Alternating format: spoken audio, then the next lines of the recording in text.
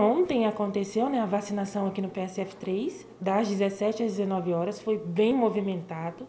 Eu agradeço a participação da, popula da população porque deu bastante movimento, muita gente compareceu, muitos pais trouxeram seus filhos. Eu parabenizo por isso, porque a população está vencendo nessa barreira da resistência. E assim, ao total foram vacinadas 112 crianças. Agora, Laira, é sempre importante a gente deixar claro para a nossa sociedade né, a importância dessa vacinação. A gente pode olhar até para o nosso próprio boletim. Os números estão altos, mas graças à vacinação, poucas pessoas precisam de, de procedimentos médicos.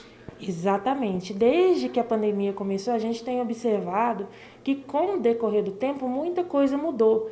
E após a vacinação, os sintomas de, de Covid-19 diminuíram muito o agravamento. As pessoas estão tendo sintomas simples de, de gripe mesmo, né? de fácil tratamento. Muito, muito, pouca pessoa, muito poucas pessoas hospitalizadas, é, praticamente zerado né, o número de pessoas na UTI. A vacina veio muito para ajudar nesse sentido. Agora, Laira, é sempre importante deixar claro também para os pais. Tem muitos pais que têm dúvida em vacinar os seus filhos, justamente por conta de que vê notícias em grupos de WhatsApp, muitas delas fake news. E a gente sabe, e é importante falar, que com é, efeitos adversos todo medicamento tem e a vacina tem essas reações que faz parte. Sim, podem acontecer reações adversas à vacinação. É, mas a gente tem observado que tem acontecido muito pouco, muito pouco mesmo. As pessoas pouco têm procurado a unidade após a vacinação, principalmente as crianças.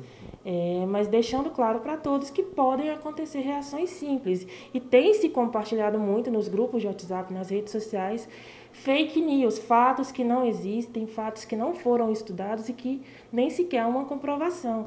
A gente tem que tomar muito cuidado quanto à divulgação desse tipo de coisa, né? Agora, a criança tem pouco essa questão de reação, é devido ao organismo da criança? Sim, a criança é, tem uma, uma janela de imunidade, uma imunidade melhor do que a do, do adulto, né? Tanto que o número de, de, de casos de Covid-19 em crianças são bem reduzidos, são menores do que na população adulta. Uhum. E o importante, claro, é sempre tomar a sua vacina. Adulto, criança, já de 5 anos para frente, é tomar a vacina. Sim, a gente reforça mais uma vez a importância da, da vacinação, não só da Covid-19, mas tem toda, todo um calendário vacinal né, a ser seguido.